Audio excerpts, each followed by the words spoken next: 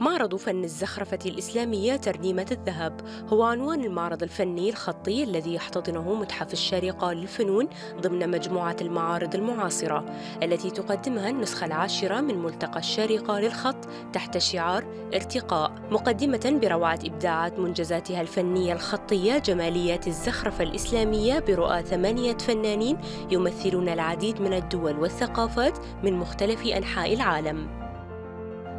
هذه أول مشاركة لي في ملتقى الشارقة للخط في معرض الزخرفة الإسلامية.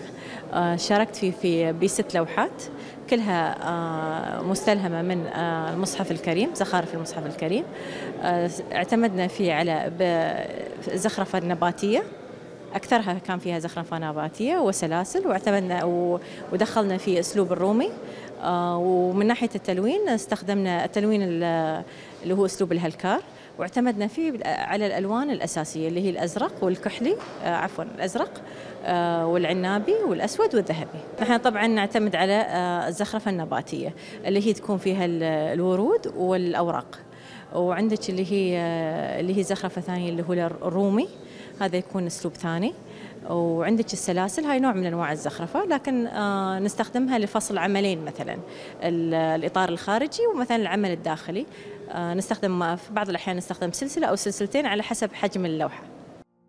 أعمال فنية تتفرد بجمال زخارفها المستلهمة من محيطها الجغرافي والزمني مبلورة بأساليبها ثراء مدارس الزخرفة بمختلف مرجعياتها. شاركت ب 13 عمل آه، كلهم على النمط المملوكي آه، بأساليب مختلفة. يعني داخل النمط المملوكي في أكثر من أسلوب ولكن فحاولت أبرز ده في في المعرض. آه، الأعمال كلها مستخدم فيها ورق طبيعي وحاجات وألوان طبيعية وذهب ذهب طبيعي.